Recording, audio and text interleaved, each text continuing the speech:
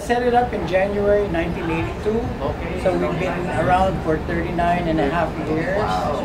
And uh, at first, we, it was just a regular restaurant. Uh-huh. And then we started focusing into Filipino Okay, cuisine. so panoorin nun natin paano ba talaga nihanda yung cebuchon. One of the many special offerings of Chef Yes, na LA Rose. LA Rose. Okay. It is one of our best-selling items on the menu, and I feel that the dish itself is a very good dish, and everybody just claims that it's one of the best cebuchon they've ever had.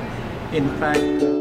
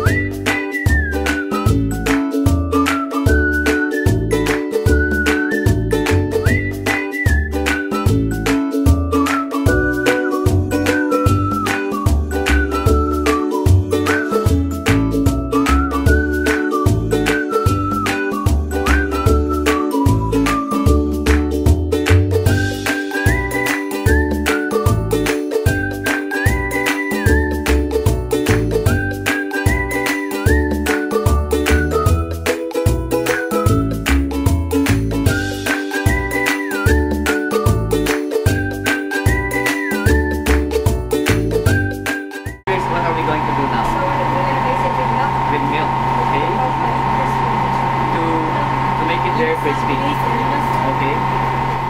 Ito na ngayon, ilalagay na sa oven for how many hours? Okay, so first two hours, 2 hours. 300, Oh, 300 degrees. 300 degrees. Okay, okay, yeah.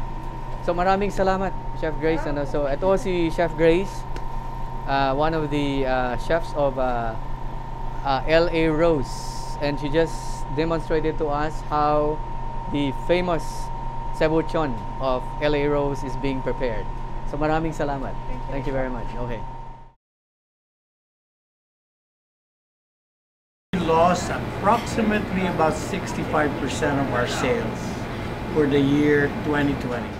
Focused on takeout orders, and then as soon as they allowed us to have dine outside dining, we set up tables and chairs on the sidewalk.